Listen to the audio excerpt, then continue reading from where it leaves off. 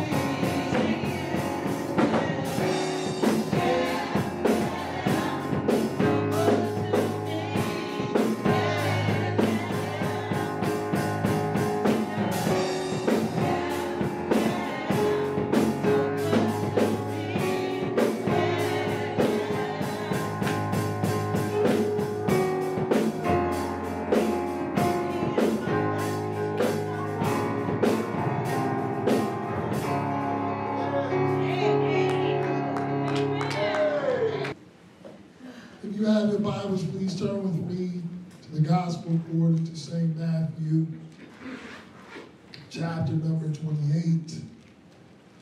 And today we are interested in verses 1 through 8. I apologize for the lengthy scripture text, but this is Easter, Resurrection Sunday. So I thought it would be appropriate if we would have correct text. We like to give to this ministry, those out there virtually, those that's here electronically, you can do so through our Cash App. Cash App is dollar sign G-B-W-T-A-L-B-I-O-N. All capital letters. Once again, our Cash App, if you would like to give electronically, it's dollar sign G-B-W-T-L-B-N. All capital letters. If you have St. Matthew chapter 28, please stand. And the reading for those that can't stand, I understand Sister Marilyn Taylor. If she can't get up, just the fact she's in the house. Amen. Amen. And praying that God's anointing falls all over her body. Amen, amen. St. Matthew chapter 28, in the end of the Sabbath, as it began to dawn toward the first day of the week, came Mary Magdalene and the other Mary to see the sepulchre. And behold, there was a great earthquake. The angel of the Lord descended from heaven and came and rolled back the stone from the door and sat upon it. Yeah. His countenance was like lightning, and his raiment white as snow. Yeah. And for the fear of him, the keepers did shake and became as dead men. And the angel answered and said unto the women, Fear not ye, for I know that ye seek Jesus, which was crucified. Yeah. He is not here, for he is risen. As he said, Come see the place where the Lord lay, and go quickly and tell the disciples that he is risen from the dead, and behold, he goeth before you Uh-huh. into Galilee. Yeah. There shall ye see him. Lo, I have told you. And they departed quickly from the sepulchre with fear and great joy, and they run to bring his disciples word. Heavenly Father, we thank you today. Most important, she went to the cross for our sins, and three days later you rose from the dead. Amen. We're praying for everybody out there on today, still going through the situation of dealing with this pandemic. Praying for all our children in schools that you protect them. But we're bringing forth this word and I ask you, God, to bless it, that it may uplift somebody, encourage somebody today in these trying times. Let my flesh be submissive and use me as a ready vessel to preach the gospel of Jesus Christ. We pray and ask this in Jesus' name. Amen. You can be seated in the house of God. We do communion immediately following this sermon. And you don't have to worry about altar call because we, my wife will be anointing everyone. And if you cannot come to the front and you would like to take communion, we will serve you at your seat. Today's sermon is entitled Get Up. Get Up. We look at the writer here, Apostle Matthew, also known evangelist, and his occupation was a tax collector. As we are approaching the end of the tax refund season, it's very interesting that the Apostle Matthew's occupation was as such. This book identifies the coming of Jesus Christ, fulfilling the Old Testament prophecy, and it also is the opening of the New Testament. It is the beginning of the Gospels Matthew, Mark, Luke, and John. And it starts off, and generally speaking, all the Gospels, including this one, deals with the death burial, and resurrection of our Lord and Savior, Jesus Christ. If I to define get up, it is said to be rise or cause to rise from bed after sleeping in or become strong or agitated. My message on today, and I won't be before you long, my message on today is not only that Jesus Christ, over 2,000 years ago, rose from the grave, many of us especially after coming out two years of being in this pandemic. It's time for us to get up as well. I never thought in my lifetime, of my young 40 years, I'll be 41 uh, next Saturday. And I was out to breakfast. My dad took me out to breakfast this past week while my car was being worked on. And they could not believe, because I didn't put the, uh, Minister Lamb didn't put the dye in my beard yet, that I was his son. but we have all been through a tiresome two years. Yeah. We've all ourselves went through some tired times. And if we didn't go through some trying times, we know somebody that did. Many of us has lost jobs. Some of us lost our house, our vehicles, family and friends. Due to this thing they call the coronavirus. It's been a very depressing two years, especially pastoring, because the church was affected as well. And it's hard to lead through tough times. It's easy to lead when every seat is packed, the praise team is singing like Motown records. The spirit is high. The church is clean. Thank you, Sister LaDonna. Amen. And and everybody's paying their tithes and offering. Amen. But how can you lead at such a time as this? I had to believe that the early, early church, because the day of Pentecost was the start of the church, from the time on that Friday when Jesus laid down his life.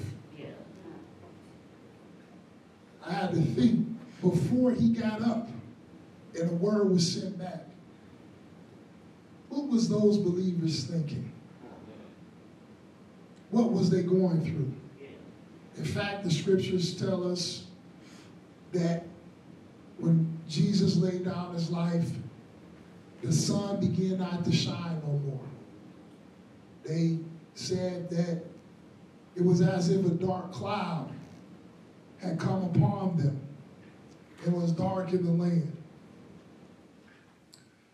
Although we wasn't there during this time frame, I believe many of us had this same thought. They said people was dropping like flies. They told us we can't go nowhere. Stay indoors. If you have to go to the grocery store, stock up. Amen. Y'all remember because they was buying all that tissue and toilet paper. Yeah. And I was thinking to myself, what is you gonna do with all this tissue and toilet paper? Right. Yes. But somehow we came out of this pandemic. At least that's how it's looking now. And although that we're still dealing with it, we're not where we at when it first started. Do I have a witness in the house on today? I take it personal, of my father who's here, present in the flesh, and my mother growing up in Detroit in the slums.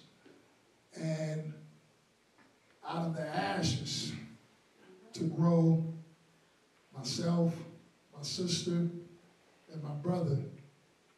Accomplishments that we was able to do in such a short time. To see from the lawns of Kevin and Sandra that their children would no longer have the demon of poverty stricken over them, their family. Those individuals that was not concerned with church.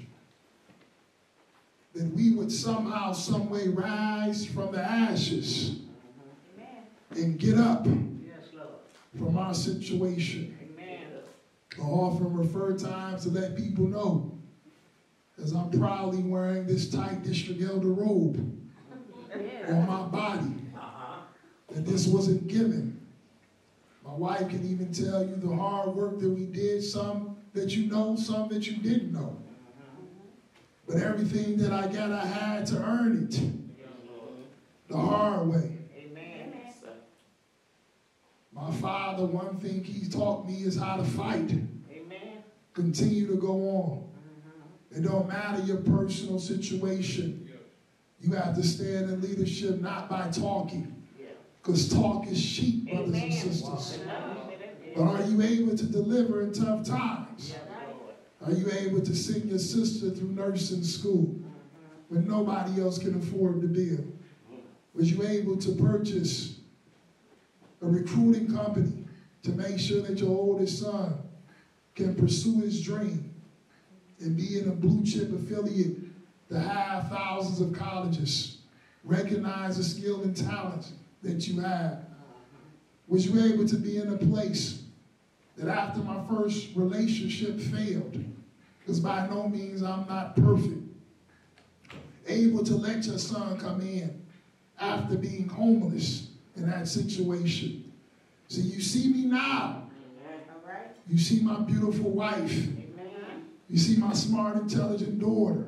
Amen. You see that nice ride sitting past Pastor Kevin. Williams Jr.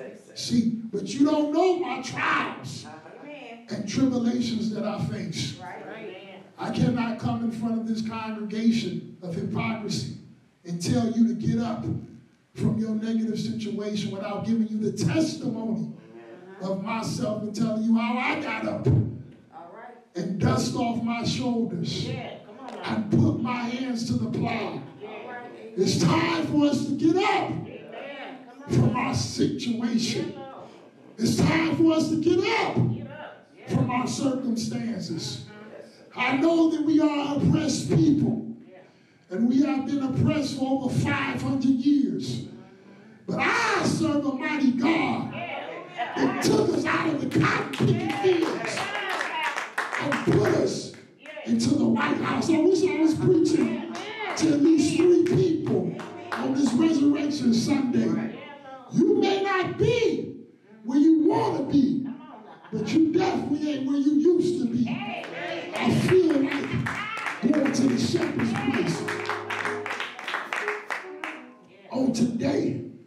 I've been through hard times and had trials and tribulations. But God accepted back his prodigal son. I was in the pigsty, wiggling down in the mud with the pigs. But it wasn't until my mother passed away that I was able to accept my calling. I was too busy running the streets. The same casinos I don't want my members in, I was in those casinos. The same clubs and bars that I don't want my members to be in, I was in those clubs and bars. The same marijuana and the same Hennessy that I don't want my members to take part of. I was taking part of these same things. But it wasn't until I got up from my situation and God made it able for me to see. I once was blind, but now I see. And I give God the glory and thank Him for saving me.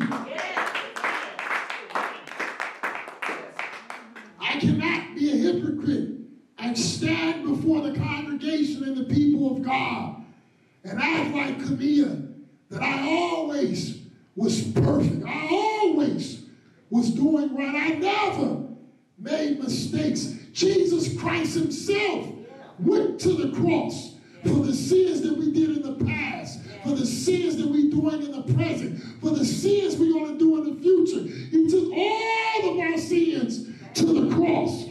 And now they spread him wide on the cross. They put nails in his hands on the cross. They put nails in his feet on the cross. They put a, a thorn of crown on his head on the cross. They spit in his face on the cross. They mocked him on the cross.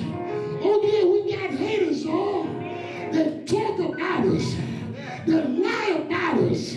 We got naysayers. We got non-believers. They don't believe in the potential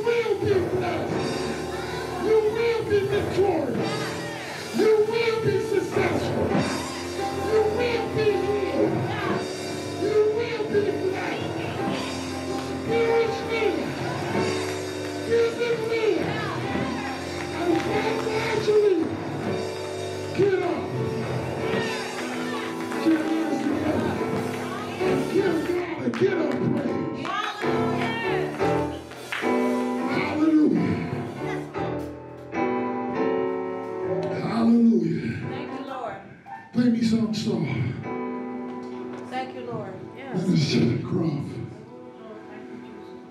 Oh, Out of all the different parables we saw in the Bible and all the different stories of importance, all the miracles we saw Jesus Christ perform in the Gospels in his earthly mission. The most essential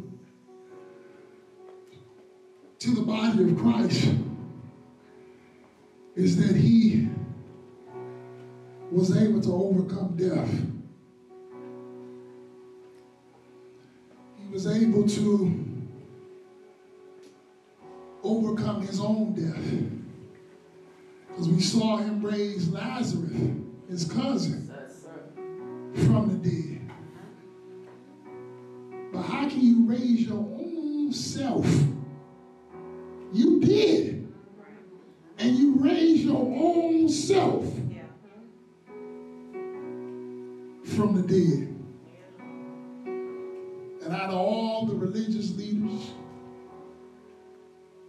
Jesus Christ was the only one to get up from the grave.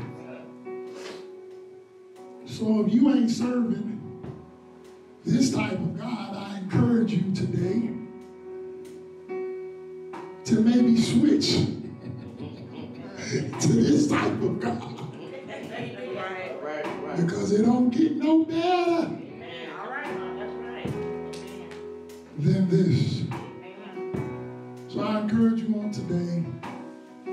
whatever your trials and tribulations that you're facing and going through,